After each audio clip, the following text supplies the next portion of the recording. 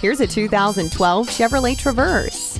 If safety is at the top of your list, you'll love this vehicle's anti-lock brakes and driver information center. Keyless entry and a security system make sure it's easy for you to get in, but no one else. The CD player and the spoiler mean you'll ride in comfort and style.